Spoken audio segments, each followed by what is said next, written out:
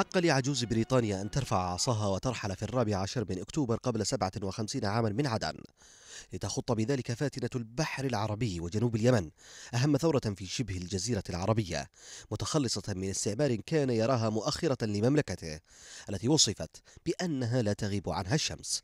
استعمار بنى لنفسه على يابستها مصالحه ولم يتعداها خدمة لجنوب اليمن آنذاك بل أنه جند لفيف السلطنات والمشيخة لصالحه ووضع سيفه على أكتافهم خدمة لمشروعه الاستعماري الذي كان يرى في عدن مجرد طريق عبور لمستعمراته الشرقية ومهبط استراحة ليس إلا. فالوقائع والدلائل تقول بأن الاستعمار البريطاني لم يكن يريد سوى ميناء عدن وكانت السيطرة اقتصادية بحتة خدمة لمشروع تحمله بريطانيا. ومع مرور الزمن والخيانات الداخلية تمكنت بريطانيا من إحكام القبضة على كامل المناطق الجنوبية والشرقية في اليمن وكبر الاستعمار الإنجليزي المحمية الشرقية ومستعمرة عدن بعد فصلها عن مومباي وألحقها بوزارة المستعمرة البريطانية.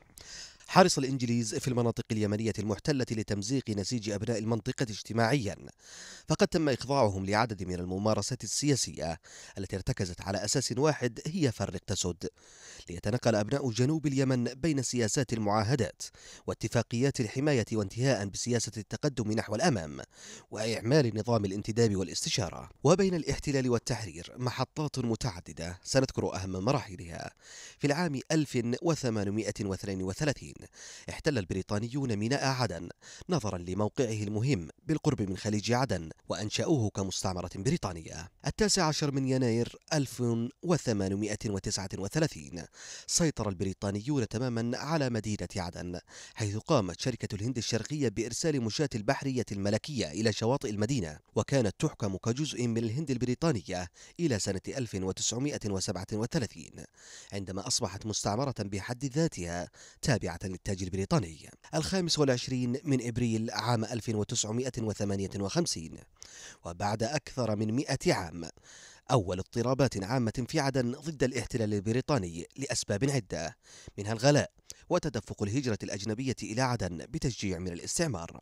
الحادي عشر من فبراير 1959 أعلنت بريطانيا رسميا قيام اتحاد إمارات الجنوب العربي. ضم في البداية ست إمارات وهي مجموعة من القبائل المتنافرة والمتناحرة. وكان هدف الاستعمار البريطاني من هذه الخطوة تصفية قضية تحرير الجنوب وإبقاء عدن قاعدة عسكرية استراتيجية لبريطانيا. من العام 1954 إلى العام 1960 معارك الرابطة ضد الاستعمار في الجنوب. واستشهاد أحد مناضلها أثناء مطاردة الإنجليز له وهو هارب إلى شمال الوطن. الرابع والعشرين من سبتمبر 1962 وقبل ثورة صنعاء بيومين. مسيرة كبرى في كريتر سميت بمسيرة الزحف المقدس ضد الاستعمار البريطاني وضد دمج عدن في الاتحاد الفيدرالي وسقوط ضحايا وفتاة عدنية تنزل علم الاتحاد. الثالث والعشرون من فبراير عام 1963 تشكيل جبهة التحرير الأولى.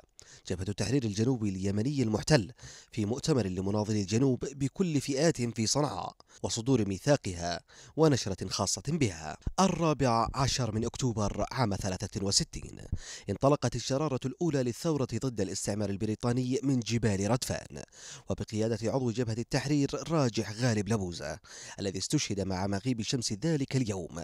ومنذ اليوم الأول لانطلاق ثورة التحرير شنت سلطات الاستعمار البريطاني حملات عسكرية غاشمة ضد قبائل ردفان استمرت ستة أشهر.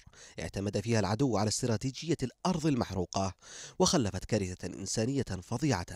جعلت أحد أعضاء مجلس العموم البريطاني يدين تلك الأعمال اللا إنسانية ليتم على إثر كل هذه الخطوات الثورية خروج المحتل البريطاني من عدن في الثلاثين من نوفمبر عام 67